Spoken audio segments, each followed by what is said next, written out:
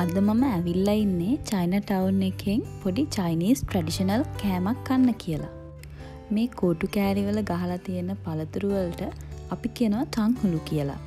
මේ තන්හුළු කියන්නේ උත්රු චීනයේ ගොඩක් ප්‍රසිද්ධ පරණ කෑම ජාතියක්.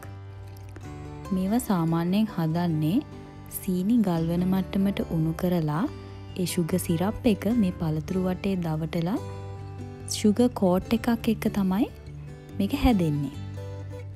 ඉස්සර කාල්නන් චීන ජනතාව මේ රසකැවිල්ල හදලා තියෙන්නේ හෝතෝන් කියලා පළතුරු ජාතියක් විතරක් පාවිච්චි කරලා.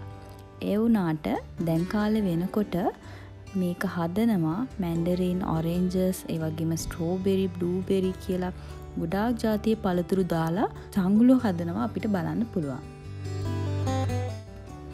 ටංහුළුවල තියෙන මේ පළතුරු අපිට ගහල දෙන්නේ උන බට වලින් හදපු කූරකින්.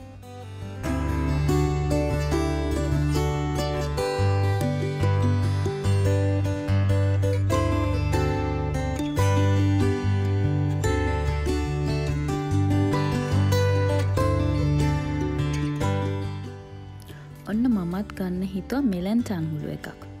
අපි බලමුකු රැස කොහොමද කියලා. Thank you